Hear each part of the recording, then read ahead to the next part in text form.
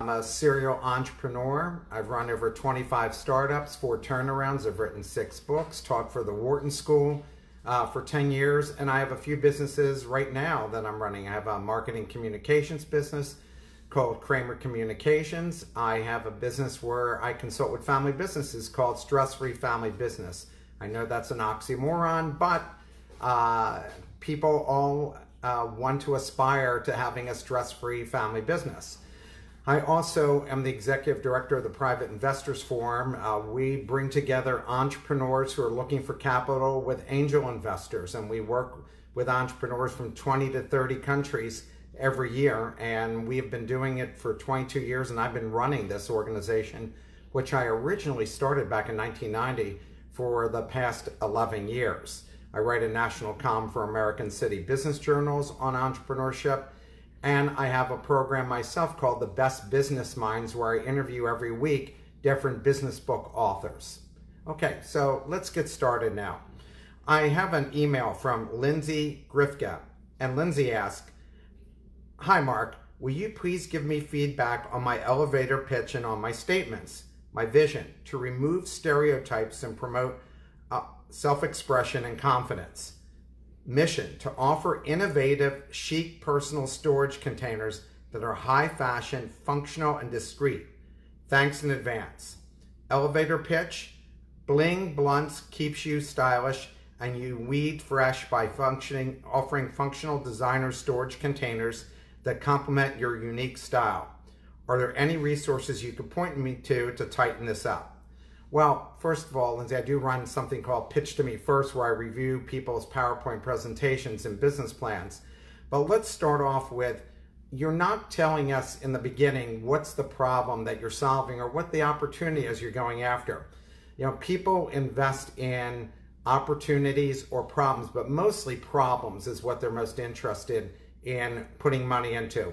But let's say you're not trying to raise any money at all and, and what you're interested in doing is just building this business for yourself. So you have to take a look at how many really competitors are out there for this particular business and then tell us you know how you're going to be different because that's how you're going to market yourself is how you're truly different because there are all kinds of containers out there and I looked up the word containers and there are some cool design containers. Now mind you people do need these containers to put all away all the junk that they've accumulated over time.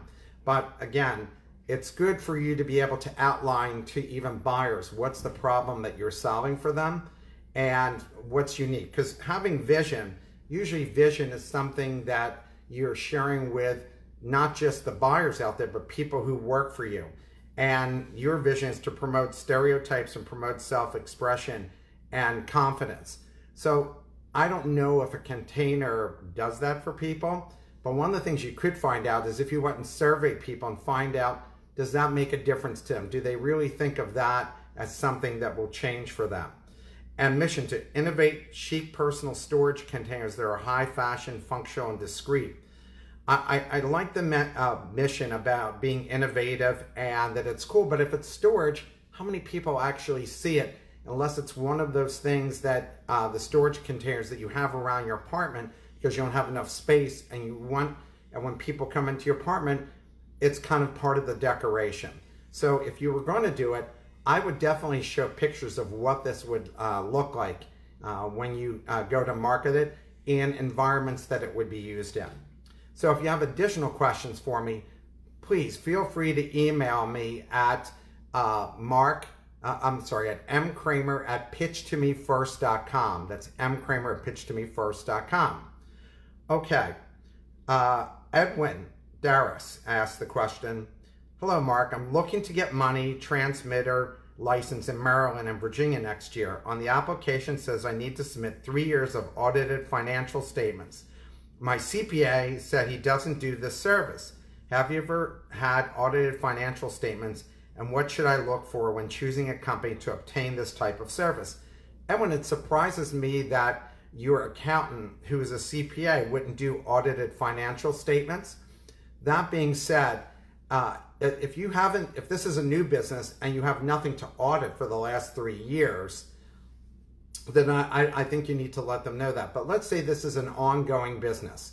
What you might do is contact a big regional accounting firm, not a national accounting firm because they're too expensive to use, but regional accounting firms usually always have an audit practice, and the audit practice is different than the people who are actually doing the accounting work for you. So maybe your accountant, all he does is do the bookkeeping type of work, and he do actually doesn't do audits. So that would make some sense to me. Okay. Uh, David uh, Fitzmaurice. David asked the question, uh, I have products ordered from my e-commerce store and I determine the price of how much it is going to cost me to send one clothing set with packaging, labels, and postage. It will cost around 25 euros. How much do you think I should be selling sets for? I can make a good profit. I'm looking at my competitors and they're selling for between 50 and 60 euros. I think it's too low and was thinking about 80 to 100 euros.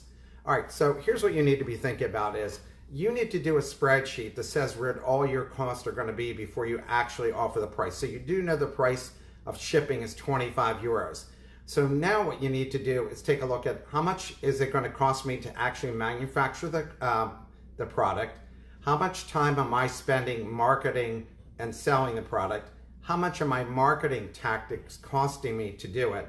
How much does each transaction cost uh, for me to do? So credit card transaction, however uh, you're doing it. So you have to put together all of your expenses and then you're gonna be able to arrive at a cost also factoring in how many of these can you order? You know, some, some of your competitors may be order, um, ordering 10,000 of this product and so their cost per product is much lower, but you might be only ordering 500. So that would uh, vary what you're going to charge because your costs are going to be much higher. But also, what if you have a premium product? What if your design is really cool? What if, what if your product has more benefits, more attributes to it? So then you might be able to charge a much higher price for it. So I guess it's hard to say unless I actually looked at the product, but what I would say to you is figure out all the costs are going into it. That means the receptionist who takes the call or the customer service people. All of those things have to be factored in before you can arrive at a price. And then how many of these pieces you're actually um, having manufactured before you actually sell it. And that's also going to determine the price. Gaber, uh, I think it's Race, asked the following question. As I'm building my team and delegating more, I'm struggling to find the balance between spending time training employees, helping them be more productive, reviewing their work on one hand, working on the task I consider my own responsibility on the other. Could you share any tips on finding the balance to maximum, uh, the, maximizing the productivity of the team as a whole? I think every entrepreneur struggles with this because in the beginning, you're doing all the functions and you also feel like only I can do them all right. And you also kind of miss doing some of the functions because it, it, gives you a sense of accomplishment. But now you've got to be able to delegate more. So what you need to look to do is figure out what's the most efficient use of your time and the skill sets of all the people around you and who is best to do what particular function. So what I'd like to do is I'd like to put together a chart and I list all the people who are doing, uh, who have different capabilities and I list all of their skill sets. They have another chart and a process that shows everything that we're going to go through and figure out who should do what in the process. So once I figure those things out, then I can figure out where I need to shore up my team and what I need to do to get involved most times the best thing for the uh, founder entrepreneur to do is be out there marketing and selling because at the end of the day you need product sales and you're the best advocate for that. So you need to hire smart. You need to hire experienced people in the beginning. A lot of entrepreneurs try to go the least expensive route by hiring people with not a lot of experience because they cost less. But truthfully that actually ends up costing you a lot more money because you've got to train those people. Experienced people work great, uh, great in entrepreneurial environments because they can pick up the ball and run with it. So you got to see what kind of team that you're putting together, and then you got to figure out how all these people play a role in the process, and then figure out from that what's the part that you could take up that won't take up your time away from product sales, marketing, and even developing the next uh, level of product. The next question comes from Raw Hale. Uh, uh, asked the question, the main reason I'm leaning towards this direction, oh, I'm currently uh, exploring opportunities to do a business with the government as a woman-owned small business contractor. The main reason I'm leaning towards this direction is because I've spent the last seven years working for small and native owned government contractor businesses, and I have an in depth knowledge of the environment. Since I was fortunate enough to hold versatile positions companies, which provides me more learning. Never thought I'd be inclined to start my own government contracting business, but thought, why not, since I already have good experience and know many of the variables. My questions are what are other variables, variables I should be looking into before getting my feet too wet? Well, I think the first variable you got to look at is how many competitors are out there in the government space that you're trying to provide uh, your product or service to. And so I think that's very important to do. And um, do you have the capital to go and be able to deliver whatever you're going to be delivering? So if it's a service, maybe it's just you in the beginning or you and some people that you've put together that are all going to work based on you getting a contract and then you're able to fund them because that way you don't have to carry their salaries and benefits. Maybe you're also 1099ing people using subcontractors to help you uh, do this particular business. So, uh, how do I make sure that my decision is in alignment with my goal and mission and I'm not jumping in because I'm familiar with the business? Well, I think you have to have a passion for what, what you want to do. And I don't know uh, that you, I don't know your goal and mission except for the fact that you would like to enter a government contracting business and you're entering as a, I think it says here, Native American. And I'm not sure if, and a woman owned uh, business. And I think there's a good, there's a lot of opportunity at the local, state, and federal level for women contractors. Uh, there are plenty of those kinds of opportunities. But of course, there are other people out there as well what questions do I need to ask before jumping in? So, as I mentioned before, I think you need to put together a spreadsheet and list all the different types of expenses that you think you're going to incur for this. And also take a look at how many contracts have been offered in the past for what you do. And take a look at the past six months to a year. And take a look at all the contracts that are offered, ones that you think you're qualified for, total up the amount of money that's available so let's say you're just going after federal contracts. Then you might take a look on the website for federal contracts and see what's been rewarded in the past and see if there's a big enough market for you. Let's say that you're going to do contracts, but you're going to stay within your uh, lo uh, local area or your region or your state, and you're not going beyond that. Take a look at what contracts have been offered there. Contact the offices that actually put contracts out and ask them what's going to be on the horizon so you can determine if there's a big enough market for them and ask them who are out, what other women-owned companies are competing for those contracts because what you might find out is that there's nobody competing for these contracts no other women uh, startup companies in this particular space which gives you a definite uh, advantage and which means that they're going to have to take a piece of those contracts and, and put those into your hands based on the fact that you're also qualified to handle those particular contracts.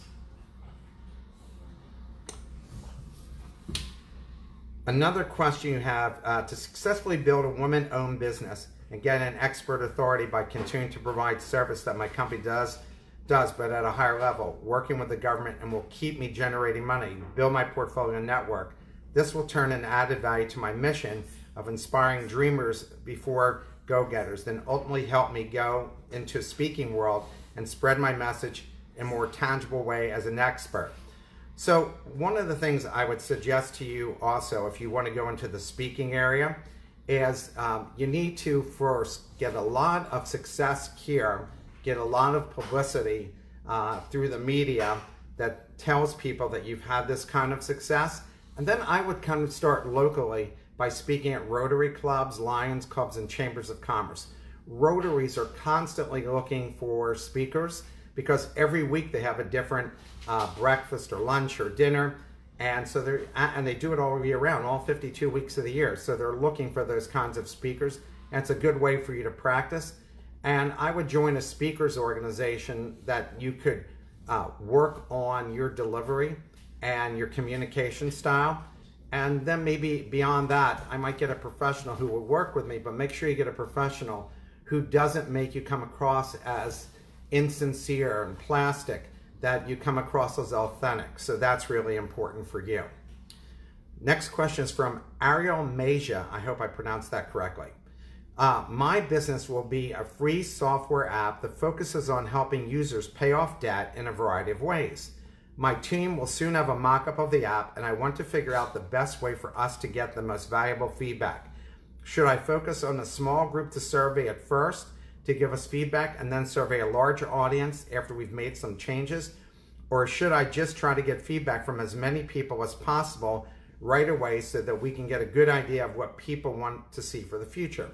So I agree with your two-step approach. Start with a small group, but make sure it's people who will always give you an honest and direct answer and also get people who would actually use this product. You know, somebody who is never going to use this product is not going to be as helpful to you as somebody who actually has these particular problems. So find people that would give you an honest uh, answer and start making changes. I'm actually working on a project, uh, a product myself, and it's called Funding Organizer, and it's to help people apply for bank loans. And the first thing I did was I actually went to small businesses who were applying for bank loans and had applied for bank loans in the past and had that experience and asked them to take a look at what I was doing, all the questions I was asking, anything I might be missing. And so that was my first group I went to. And they gave me great feedback about how the structure should be. Then the second group I went to were bankers who would actually be utilizing this product and find out are there any questions I missed? And it turns out that there were some questions, even though I've done a lot of bank loans, that I totally forgot to ask. Some of them were obvious questions. So now from that point, I went to the people who would actually use it, another group who would recommend it, and now I'm going to do a, uh, a pre-launch and have a lot of different people. I'm going to look for over 100 people because I want to do something at Wharton we call a conjoint survey where I get 100 users get their feedback. A hundred is good as a thousand. So then I'll get their feedback and then I'll be ready to do a launch. And know this, whatever you do, half of what you thought about was wrong. And when you actually do launch the product, things are absolutely going to go wrong because you're just in the beginning of it. You have uh, your people have programmed it, and there's going to be mistakes. There's going to be times it goes down. So be prepared to know that that's going to happen and you want to do a soft launch in the beginning to get all the kinks out of it.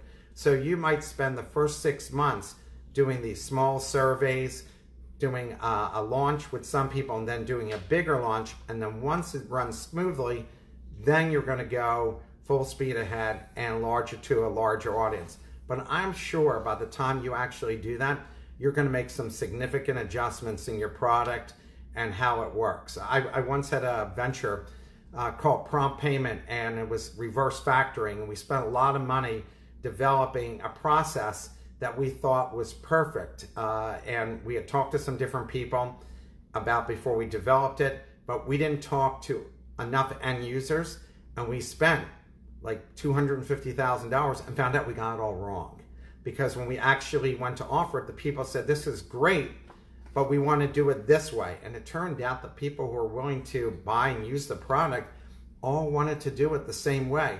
The way we thought about doing it, which made logical sense to us, was totally wrong.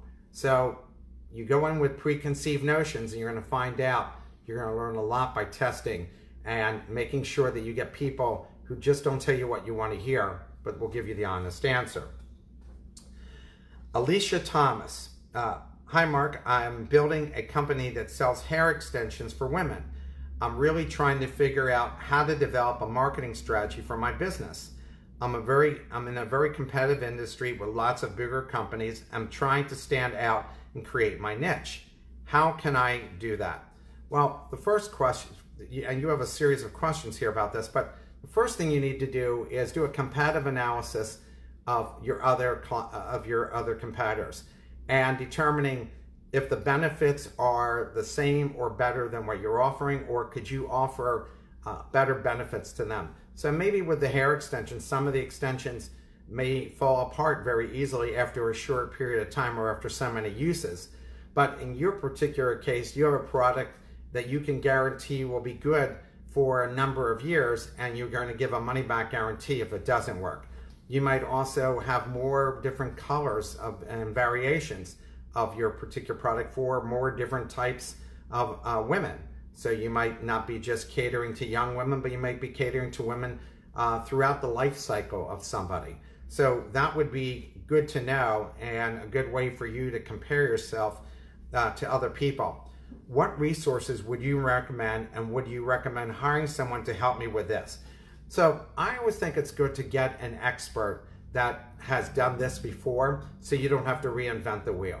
I also think it's good to get people who understand your industry and maybe form an advisory board, maybe five people who could give you feedback on what they think is the best way to market it, who are the right contacts to get your product into stores, or how to, or if there's online uh, marketplaces for your product, which ones uh, are the best for those, what's the best messaging. So you might hire somebody who does marketing and ask them, and especially somebody who understands uh, women uh, to help you market with this. I think for myself, I would not be a good person to help you uh, market this because I really don't understand this market. So you really need to get somebody who's sold into this market and, and is an out of the box thinker.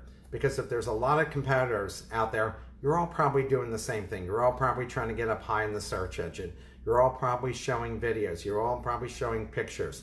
So that person has to um, think about what's the best way to go and sell this that nobody else has done before or very few people have done before. So again, I would take it as an early step here, which is to go and get an advisory board of people who've either sold this type of product, used this type of product, or are marketing this type of product. And then I would also maybe find a consultant that would help you, especially if you're not good at marketing strategy and implementation, or you could do the implementation, but they'll develop the strategy uh, for you. Uh, what resources? Would you recommend? Uh, I don't have a super large budget, so I'm bootstrapping right now. Thanks so much. Um, I think every entrepreneur, for the most part, does a lot of bootstrapping. So, and a lot of people are glad to come on your advisory board just for maybe giving them samples of the product, or maybe you'd give them some stock if you're thinking this is going to become a national company, that they'll get some stock and they'll own it over a period of time. But you're going to find there's a lot of people will be willing to offer you free help and free advice um, because you're a startup company. And you might contact small business development centers in your area. Uh, you might contact SCORE uh, in your area, uh, the Society of um, Senior Level Executives. They're retired executives. And most of them are retired, but they're not that far removed from the marketplace. And some of them still have ongoing businesses, so they could be helpful to you. Emily Townsend asked the question, they, uh, I sell paralegal services to attorney firms. I just hired a sales coach so I can start expanding my sales as I'm building out my plan in order to grow, what are some of the things you recommend to balance cash flow as I'm hiring while on a limited budget? I know there's a great opportunity with what I'm doing, but I want to make sure I'm taking into consideration all things so I can balance the growth and cash flow. Thanks. You asked the right guy this question. And the reason I say that is because I did the marketing uh, in my region of the country, Philadelphia, with a company that actually offers paralegal services. So typically what uh, this person, they built a fantastic business. They have 17 people working for them. They only bring in people on a 1099 contract uh, so they can, so they know that the contract is going to pay for this. So from a cash flow perspective, they're never in a negative number. The only real costs that they had were marketing. And frankly, we found that none of the marketing tactics that we took, and we did everything from search engine optimization to uh, running ads to sponsoring events to doing email uh, marketing campaigns. what we really found out works the best is just networking at bar association events, developing uh, relationships with attorneys, and and then from that, some of those attorneys started to give you business, and then you'll be able to do it from there. So to answer your question, you you don't have to ever be in a negative um, number or be in a cash flow restrained position except for yourself because as you you need to get business in to pay for yourself but you're only going to bring people on when you have too much business to handle yourself so the woman who founded this particular company and maybe if you're in another region of the country not philadelphia i can make an introduction for you and see if she'd be willing to uh, mentor you uh, in starting this And maybe even take an equity piece into your business if that's what you're looking for but she essentially did as many of these jobs as she could herself until she had too many jobs that she could handle. And then she brought on one person, then she brought on another person. But she made sure she kept it cash flow flexible by the fact that she didn't hire them as full time employees. What she did was kept them as contractors and brought them in as needed. Staus uh, Sinicki, uh, my business partner and I started a craft brewery uh, brewery tour business here in Lexington, Lexington, Kentucky. We have one bus and lots of relationships with local breweries and distilleries. I am sure my brother-in-law would love to go on this tour. So you're going to have to send me information about this tour business because he loves every type of beer. We are wanting to expand our service and revamp our business model and even take a look at rebranding. As we are building our business plan, while things are still brewing, no pun intended, with our business, we are still trying to determine exactly all the different products and services we're offering. Do you think we should focus just on one thing and try and scale that? Or do you think lots of irons in the fire and see what ones get hot? So the first thing is, I don't know that you need to rebrand because I, I branding is kind of a funny thing people think that you can create a logo or some type of image and that's your brand. All of us are our brand ourselves. So for you to keep a uh, be a brand, people have to know you for something. So if I say credit card to you, you think American Express. If I say search, you think Google. If I say social media, usually you'll think Facebook first. So they became brands because they became known for something, and people go and purchase uh, purchase or use the service because they heard of it. Same with restaurants. We as people have our own personal brands. You know, my personal brands, I'm an entrepreneur, so people know me as an entrepreneur. They don't know me as a doctor or lawyer, but they know me as that. You have your own personal brand. But for your business, if you have a, a name that's easily understood about what you're offering, that's a good thing. So it might be, you know, Kentucky um, Brew Tours now everybody knows it's in Kentucky and it's touring breweries in, in Kentucky. So people will know that. So I don't know that you, I don't know the name of your brand, but keeping it simple and easily understood. And when people do searches on the internet and they type it in Kentucky Brewer Tours, and all of a sudden your name comes up first because you've got this great name, or maybe you're using multiple names and have just one corporate name. So there's a lot of different ways that you can go about doing it. And I would start with being good at one thing first and then adding things on. I'm interviewing John Chambers, uh, who built Cisco Systems. And John Chambers uh, wrote a book called Connect the Dots, and it's a great book. And I'm interviewing him Monday on the best business minds. And John said the best thing, the thing, the mistake that entrepreneurs typically make is they get ahead of themselves. They don't go and and make sure they're able to execute one thing well first. They start going in a lot of different divergent paths and don't execute any of those things well. Even in sports, the great Vince Lombardi said we only need a few plays, but do those plays particularly well. And if I do those plays well, we can succeed. It's when we overcomplicate things that make it more difficult. So start with one thing first, get it done well, and if and if let's say that that thing is not working out well, in terms of uh, buyer interest, then you'll pivot to something else, but you'll still be starting out with that one thing and doing that well, and then you're able to add things on. Uh, at this stage, we're really trying to figure out what products and services can scale to different cities, and we're trying to figure out how we will know that when it happens. So if you're going to go into different cities and you start doing an email marketing campaign or maybe a Facebook campaign because you can drill down by region or Google uh, campaign, another area you can do drill down by region, then you're going to find out what works well. And by the way, different regions work differently. And so you probably, if you're from Kentucky, you know the culture down there, but the culture in Philadelphia is different. The culture out in Los Angeles is different. So you have to understand the culture, and it's good to talk to people in those areas. And, and people who are good to talk to in those areas are the people in economic development. So in every county in the United States, there is an economic uh, economic group that helps promote that particular region, and they have people who understand the vast uh, majority of businesses in that particular region because they're providing them with grants and loans and so forth, and trying to lure other companies in and telling them about the businesses that already exist there that they might want to avail themselves. And yours is a very cool business. In fact, economic development people would definitely want to know about your business because it's an attraction like a sports team it's an attraction like in a museum is an attraction so i think you have a very cool business there natasha savari uh, is the next question i have a mobile nail salon business I'm doing about a hundred thousand a year in annual sales.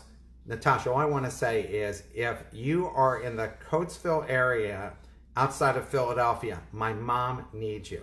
I think she's tired of my sister doing her nails. I think she wants a professional come in. So this idea of this mobile business sounds like a great idea, especially in what we're experiencing right today.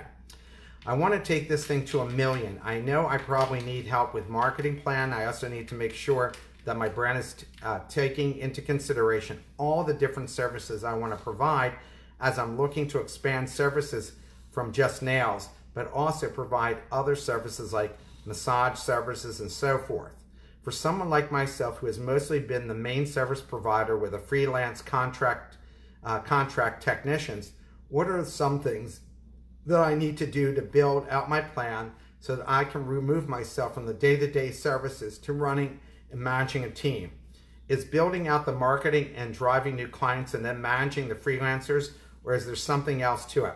All right, so what you might want to do is you might focus all your time on marketing the business and getting people who want to do it. But I'm sure if you're doing a mobile business, if you're going to have a van, that's going to be an expense. And if you're having people, if you're coming up in a van and people are coming into the van and getting it done, or that you're actually doing the massages, in, in a vehicle, maybe a, not a van, but something bigger, or if you're talking mobile, like people who do massages and come to your house, then what you can do is you could be kind of an Uber for this, and you could offer these services out to people, but find uh, people who would like to do it, grade them on how good a job that they do, get references from them, and then you can uh, set up a site where people say, I'm looking for someone like my mom is, uh, and she types in, here's my location, who could you send to me and what time?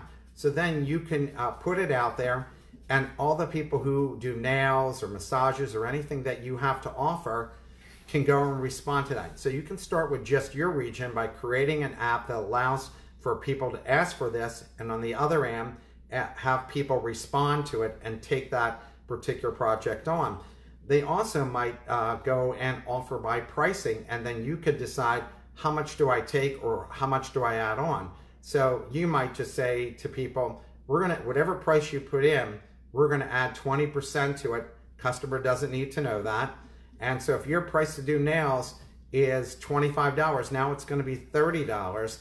We're gonna keep five, you keep the other 25, or however you're gonna work that percentage out. So you would want to start with your region first. You develop some type of app so you can scale this business up. Otherwise, you're going to be doing it yourself and then you're going to be waiting until you have too many customers and then adding someone new on. But if you're really looking to rapidly expand, that's what you're going to need to do.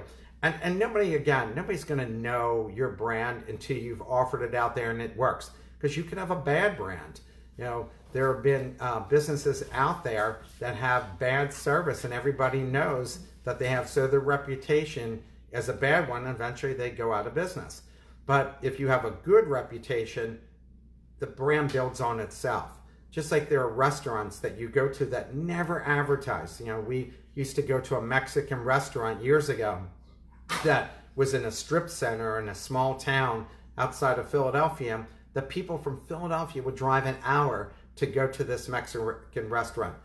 They did no advertising whatsoever, and there were Mexican restaurants uh, within that 30 mile range of people driving out. But this one was so good it had developed a great reputation. And I think you know that for lots of things. They're great lawyers, the word spreads. Great anything, the word spreads so you don't have to advertise. In fact, mostly you end up advertising um, because you have a mediocre product and you're trying to grab people who don't have very discerning taste. But in the beginning of your particular thing, it's going to be very unique offering this particular type of service.